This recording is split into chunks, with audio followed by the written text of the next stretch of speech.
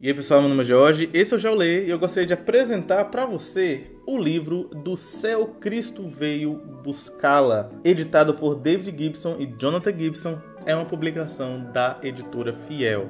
E olha, é um livrão que não tem medo de ser grande, viu? Deixa eu ver quantas páginas tem. Beira aqui as 800 páginas. Se tirar aqui as referências bibliográficas, a gente chega a 805 páginas. Então é realmente um livro enorme. É um dos maiores livros da editora Fiel, né? Então realmente é um baita livro. E qual é o assunto dele? A gente está aqui para falar sobre o tamanho, né? Vamos falar do assunto. O assunto desse livro é expiação definida. Ele tem aqui o subtítulo A expiação definida na perspectiva histórica, bíblica, teológica e pastoral. E o objetivo do livro é desenvolver de fato essa ideia da expiação definida. E talvez você esteja pensando, mas expiação definida? Eu já ouvi falar de expiação com outro nome. Talvez expiação limitada não seria o nome correto. Então, existe uma tradição reformada, digamos assim, que Uh, nós temos os cinco pontos do calvinismo, né? E na ordem nós temos a depravação total, a eleição incondicional, a expiação limitada, graça irresistível e perseverança dos santos. Quanto à expiação, de fato, a doutrina né, histórica tem sido chamada de expiação limitada e o objetivo é falar que a obra de Cristo ela é limitada aos eleitos. Cristo não morreu pelo mundo inteiro, mas morreu especificamente pelos eleitos eleitos Porém, o que esse livro vai falar é que essa doutrina poderia ser talvez melhor compreendida. Existe uma discussão de termos ali, né? E uh, os editores aqui discutem sobre isso na introdução. É que talvez chamar de expiação definida faça mais jus ao que de fato se quer defender, porque o objetivo não é falar daquilo que Cristo não faz, né? Limitar no sentido de que Cristo não morre pelo mundo inteiro, ou Cristo não morre pelos não eleitos pelos réprobos, né?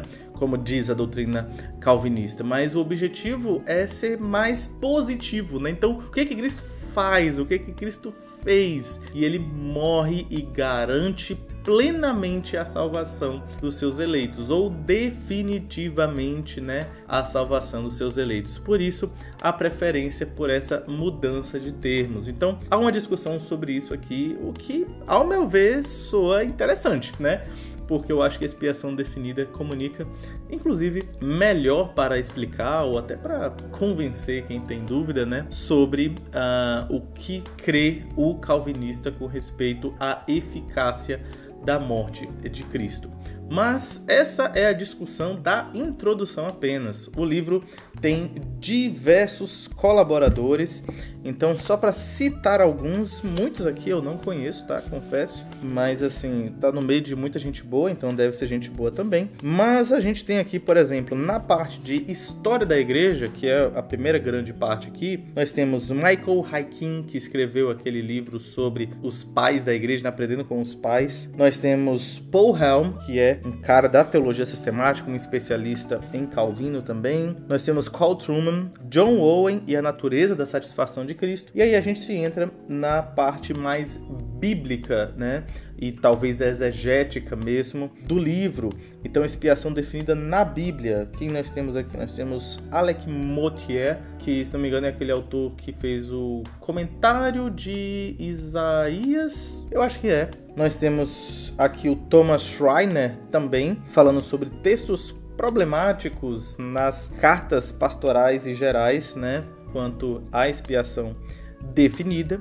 E aí a gente entra na perspectiva teológica que temos também outros autores como Robert Lytham, um, quem mais nós temos aqui? Os outros autores eu não conheço. Gary Williams, tem dois artigos dele aqui. Tem falando aqui sobre nova aliança, sobre a punição divina, relacionando tudo isso à expiação definida.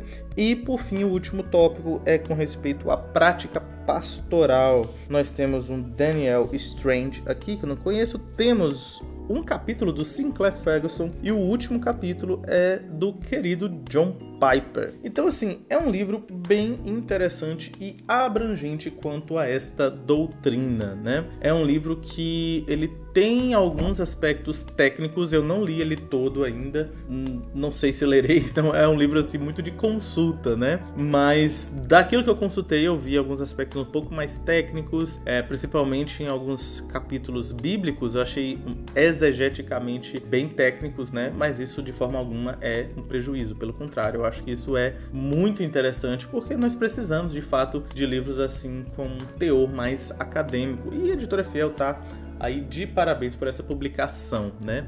Então, se você quiser saber mais sobre a expiação de Cristo, sobre a eficácia da obra de Cristo e a visão calvinista, olha, esse livro aqui, ele é excelente para isso, uma vez que ele traz aí diversas perspectivas sobre essa doutrina na visão calvinista. Mas e aí, você gostou dessa apresentação? Olha, esse livro ele foi mostrado uh, nos meus recebidos do mês passado, mês de abril, e tivemos ali pessoas que estiveram interessadas nele. Então eu agradeço pela sua colaboração, por ter solicitado, né, apresentar esse livro, que aí a gente tem essa sintonia, né, de eu falar de livros que vocês têm mais interesse em ver e vocês veem mais conteúdo sendo produzidos de acordo com a própria solicitação. Se você quiser adquirir esse livro, link estará aí na descrição. A editora Fiel também tem o cuidado de ter a edição física e a edição digital dos seus livros, praticamente todos, quase todos, né? Ah, tem nos dois formatos, então se você não quiser carregar esse catatal aqui, pesadão, esse calhamaço. Ah, você pode adquirir a versão digital também. E os links estarão aí na descrição, ok? Por hoje eu vou ficando por aqui. Até uma próxima e